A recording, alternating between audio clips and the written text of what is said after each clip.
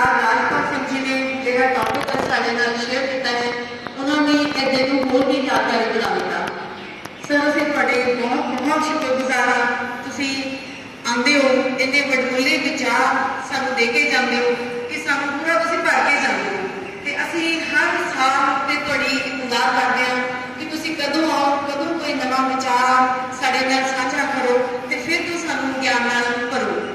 ਸੋ ਬੱਚਿਓ, ਤੁਸੀਂ ਜਿਹੜੇ ਬੱਚੇ ਇਸ ਸੈਸ਼ਨ ਦੇ ਵਿੱਚ ਇਸ ਕਾਲਜ ਦੇ ਵਿੱਚ ਆਏ ਹੋ। ਤੁਹਾਨੂੰ ਇਹਨਾਂ ਬਾਰੇ ਜ਼ਿਆਦਾ ਜਾਣਕਾਰੀ ਨਹੀਂ ਹੋਏਗੀ।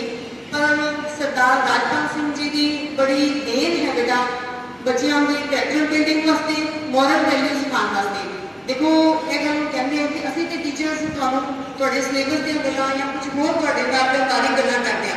ਪਰ ਜਿਹੜੀਆਂ ਆਤਮਾ ਦੀਆਂ ਗੱਲਾਂ ਹੈ, ਪਰਮਾਤਮਾ ਦੀਆਂ ਗੱਲਾਂ ਹੈ, ਉਹਦੇ ਵਾਸਤੇ ਸਰਦਾਰ ਰਾਜਪਾਲ ਸਿੰਘ ਜੀ ਸਾਡੇ ਵਿੱਚ ਆਉਂਦੇ ਆ। ਸਰ ਮੈਂ ਆਪਣੀ ਮੈਨੇਜਮੈਂਟ ਆਪਣੇ ਸਾਰੇ ਸਟਾਫ ਮੈਂਬਰਸ ਤੇ ਤੁਹਾਡੀ ਬਹੁਤ ਬਹੁਤ ਧੰਨਵਾਦੀ ਕਿ ਤੁਸੀਂ ਅੱਜ ਦਾ ਦਿਨ ਤੇ ਇਹ ਵਿਸ਼ਾ ਚੁਣਿਆ।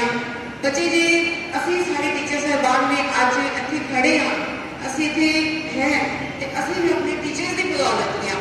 ਤੇ ਅੱਜ ਇਸ ਪਲੇਟਫਾਰਮ ਤੋਂ ਮੈਂ ਆਪਣੇ ਸਾਰੇ ਟੀਚਰ ਸਾਹਿਬਾਨ, ਉਹਨਾਂ ਵੱਲੋਂ ਵੀ ਤੇ ਆਪਣੇ ਵੱਲੋਂ ਵੀ ਆਪਣੇ ਟੀਚਰਸ ਦੇ ਅੱਗੇ ਨਤਮਸਤਕ ਹੁੰਦੀ ਹਾਂ ਕਿ ਤੁਸੀਂ ਸਾਨੂੰ ਜ਼ਿੰਦਗੀ ਵਿੱਚ ਇਹ ਸੇਧ ਦਿੱਤੀ ਕਿ ਅਸੀਂ ਅੱਜ ਇਸ ਮੁਕਾਮ ਤੇ ਪਹੁੰਚ ਸਕਿਆ ਤੇ ਅਸੀਂ ਅੱਗੇ ਉਹ ਇਹੀ ਸਿੱਖਿਆ ਸਿੱਖਿਆ ਜੋ ਹੈ ਉਹ ਆਪਣੇ ਬੱਚਿਆਂ ਨੂੰ ਦੇ ਰਹੇ ਹਾਂ ਕਿ ਤਾਂ ਕਿ ਤੁਸੀਂ ਵੀ ਜ਼ਿੰਦਗੀ ਵਿੱਚ ਜੋ ਆਪਣੇ ਟਾਰਗੇਟਸ ਗੋਲਸ ਸੋਚੇ ਹੈ ਤੁਸੀਂ ਅਚੀਵ ਕਰ ਸਕੋ ਬੇਟਾ ਇੱਕ ਟੀਚਰ ਉਦੋਂ ਹੀ ਸਕਸੈਸਫੁਲ ਹੁੰਦਾ ਹੈ ਜਦੋਂ ਉਸਦਾ ਸਬਜੈਕਟ ਸਕਸੈਸਫੁਲ ਹੁੰਦਾ ਹੈ ਜਦੋਂ ਤੁਸੀਂ ਕੋਈ ਇੱਕ ਐਪਰੀਸੀਏਸ਼ਨ ਲੈ ਕੇ ਆਉਂਦੇ ਹੋ ਨਾ ਸਾਨੂੰ ਲੱਗਦਾ ਤੁਹਾਨੂੰ ਨਹੀਂ ਸਾਨੂੰ ਮਿਲੀ ਹੈ ਅੱਜ ਤੁਸੀਂ ਨਹੀਂ ਪਾਸ ਹੋਏ ਅਸੀਂ ਪਾਸ ਹੋ ਗਏ ਸੋ ਬੇਟਾ ਮੈਂ ਇੱਕ ਵਾਰੀ ਬਹੁਤ ਸ਼ੁਕਰਗੁਜ਼ਾਰ ਹਾਂ ਫਿਰ ਤੋਂ ਤੁਹਾਡੇ ਸਾਰੇ ਸਟੂਡੈਂਟਸ ਦੀ ਵੀ ਤੁਸੀਂ ਸਾਨੂੰ ਸਾਰਿਆਂ ਨੂੰ ਇੰਨਾ ਪਿਆਰ ਮਾਣ ਇੱਜ਼ਤ ਦਿੰਦੇ ਹੋ ਤੁਸੀਂ ਸਟੂਡੈਂਟਸ ਹੋ ਕੇ ਬੇਟੇ ਅਸੀਂ ਟੀਚਰਸ ਹਾਂ ਤੁਸੀਂ ਇੱਥੇ ਹੋ ਕੇ ਇਹ ਕਾਲਜ ਹੈ ਤੁਸੀਂ ਹੋ ਕੇ ਸਾਡੇ ਸੰਸਥਾਵਾਂ ਚੱਲਦੀਆਂ ਸੋ ਅਸੀਂ ਸਾਰੇ ਟੀਚਰਸ ਨੂੰ ਤੁਹਾਡੇ ਲਈ ਬਹੁਤ ਇਹ ਪ੍ਰੇ ਕਰਦੇ ਹਾਂ ਪਰਮਾਤਮਾ ਅੱਗੇ ਅਰਦਾਸ ਕਰਦੇ ਹਾਂ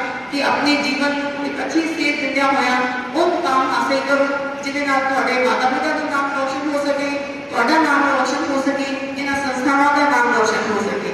ਸੋ ਇੱਕ ਵਾਰੀ ਫਿਰ ਤੋਂ ਮੈਂ ਸਰਦਾਰ ਰਾਜਪਾਲ ਸਿੰਘ ਜੀ ਤੇ ਉਹਨਾਂ ਦੀ ਟੀਮ ਪੈਂਜੀ ਦਵਿੰਦਰ ਕੌਰ ਜੀ, ਜੋ ਸਾਡੇ ਵਿੱਚ ਅਕਸਰ ਆਉਂਦੇ ਆ ਮੈਂ ਉਹਨਾਂ ਦੀ ਬਹੁਤ ਸ਼ੁਕਰਗੁਜ਼ਾਰ ਹਾਂ ਕਿ ਅੱਜ ਦਾ ਦਿਨ ਤੁਸੀਂ ਚੁਣਿਆ ਤੇ ਬਹੁਤ ਅੱਛੀ ਜਾਣਕਾਰੀ ਸਾਡੇ ਬੱਚਿਆਂ ਨਾਲ, ਸਾਡਿਆਂ ਨਾਲ, ਸਾਡੇ ਸਭ ਨਾਲ ਸਾਂਝੀ ਕੀਤੀ। ਬਹੁਤ ਬਹੁਤ ਸ਼ੁਕਰੀਆ।